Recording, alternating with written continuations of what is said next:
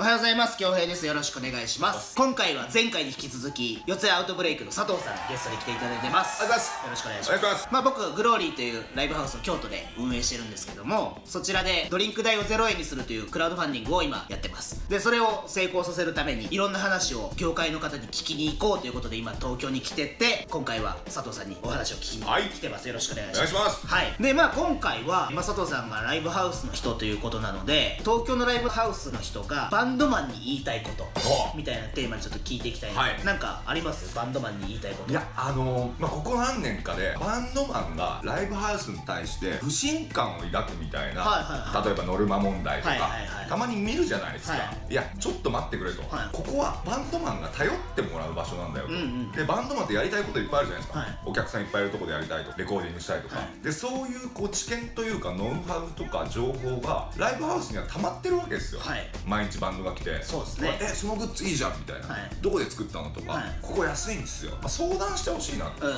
聞いてほしいそれめっちゃ思いますね。思うんですよ、その分バンド見てるし、つながりもやっぱいっぱいあるし、うん。これはどこのライブハウスも必然だとは思うんですよね。多分バンドマンって忙しいんじゃないかとか、はい。こういうこと聞いたら怒られるんじゃないかみたいな感じで、ちょっと尻込みしがちですしよね。がちですね、うん。であと最近出演してないからとか。ああいやいや全然いいっしょみたいな。はいはいはい、うん。例えばこのインストアやりましたバイアウトブレイク佐藤みたいな。出ないじゃないですか、出ないだからなんかそのバンドが何かしらの力でこうやったのかなってうん表には見えてしまうんで、うん。まあそれもあるかもしれないですけどそういうこともライブハウスに聞いたらああいつは自分らでやったよっていうことも言えますからね。そうそうそう。だから逆にまあ俺たちもそのみんなが来てくれる土壌を作んなきゃいけないと思うんですよ、はいはいはい。あそこに相談したらなんとかなるぞっていう、うんうんその安心感と信頼感みたいなものを俺たちもやっぱ作んなきゃいけないなとは思ってるんですけど、まあそんな中最近佐藤さんのブログでバンドマンは全員ゲストでいいじゃないか宣言。ああそう。はい、うん。まあちょっと話題になってますよね、はい。まああれについて概要をまずどんなまあ、超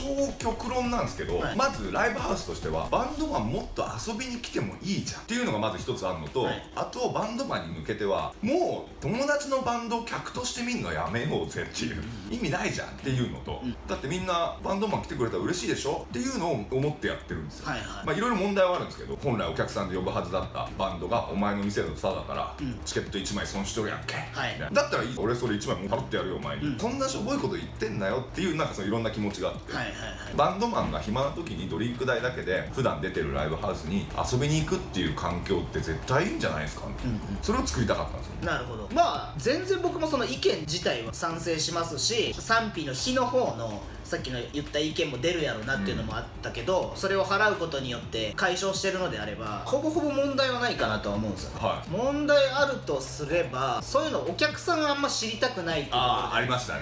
うん。佐藤さんがこれを繋いだみたいなのが表に出ないのと一緒で難しいところですよねそこは、うん。僕もこうやって YouTube やってるからそう思われてる部分もあるかもしれないですよ。それは別に言わんでいいやみたいなはい。のもあるかもしれないんで、まあそういう意見はありますよね。ありますね。で一応タダで入れるけど別にいくら払ってもいいよみたいなことにはしてるんで、はい。完全無料っていうわけでもないんですけどどこまで見せるかってあるじゃないですか。さっき言ってたみたいに、はい。そんな裏側知りたくないよ。みたいな、でも別に夢なくしてるわけじゃないと思うんですよね俺は、うんそれでライブハウスがワイワイして活性化してたらお客さんも絶対嬉しいはずだし、いいんじゃない？と。だからまあ シーンはそうですよね。だからもっとライブハウスに来てライブを見て吸収するもんもそうだし箱の人間ともコミュニケーション取ってて。聞けない情報を聞いたりとか、それこそねあんま言えないですもんね。ここの業者が安いよとか,、はいはい。だからそういうのを聞きに来いよっていうことですよね、それがきっとお客さんの好きなバンドを、まあ、成長させるっていうか、活性化させると俺はまあ信じてるんで、その辺はお客さんごめんなさいだけど温かく見守ってよっていう。なるほど。はい。まあだからそんな感じで、まあ、ライブハウスにもっと来てもらって、はい。まあ、得るもんがいっぱいあるそう。アウトブレイク最近休もう計画みたいな休まないと面白いことできないからみたいな感じで結構店をオフにする日がたまにあるんですよ。はいはい。昔は全日程埋まってるライブハウスがかっこいいと思ってたんですけどそうじゃなくて休みの日にみんなどっか遊び行ってそれをフィードバックすればいい、はい。ってことで4月1日から3日休もうと思ってたんですけど、はい。い、いっすよ。やりたい人いたら連絡くれれば自由に使わせますいや結局休みじゃなくなるじゃん。いやいいっすよそれ。いいんすか？だからイベントやりたいんだったら言ってください、はいはい。あの小屋代なし、で、まあ、チャージバック率は大相談とかゲネプロやりたいです。夕方からとかレコーディングやりたいですとかあったら言ってくれれば僕やりますよ箱代0円ですか？0円。えで売れた金額をどう折半するかは考えましょう。ー、なるほどなるほど。えこれもうこの動画を見てた人限定。限定っていう。連絡するときはこの動画を見ました言ってもらえれば早いもん勝ちで。やば。そんな影響力がこの動画にあるかどうかわかんないです あるんじゃないですか。とりあえずオーナーが見てないことだけ願います。あ そうですね。お前何という感じでこの動画を見てくれた方にも、まあ、こういうプレゼントありますので。はい。という感じでまた次もこういう話をしていきたいなと思いますのでぜひチャンネル登録よろしくお願いします。お願いします。はい。今日はありがとうございました。お疲れ様でした。